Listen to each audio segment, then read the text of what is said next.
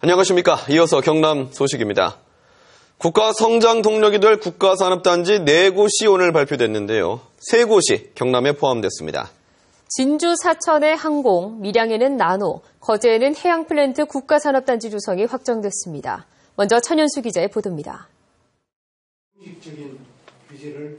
정부가 발표한 4개 국가산업단지에 진주 사천 항공산업, 밀양 나노융합, 거제 해양플랜트가 포함됐습니다. 4개 가운데 3개가 이례적으로 경남에 집중된 것입니다.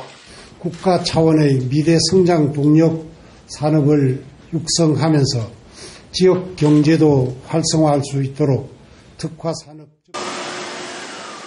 진주와 사천의 중간지대는 전투기뿐만 아니라 중형 여객기, 우주 발사체까지 생산하는 항공산업의 메카로 성장합니다.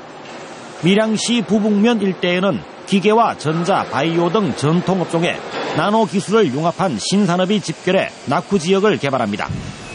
거제 해양 플랜트 국가 산단은 지정 탈락의 위기를 극복하고 극적으로 지정돼 대규모 고용을 창출하게 됐습니다. 경남 미래 50년 사업으로 선정한 그것이 이 정부가 추진하는 신성장 동력 산업에 바로 접목이 됐기 때문에 국가 산단 결정을 해준 것이죠. 한국토지주택공사 LH는 내년부터 2020년까지 3,700억 원과 3,300억 원을 각각 투입해 항공과 나노 국가 산단을 개발합니다. 또 해양플랜트 국가 산단은 내년 3월 민관 특수목적 법인이 1조 2천억 원을 들여 2020년까지 조성할 예정입니다. KBS 뉴스 전현수입니다.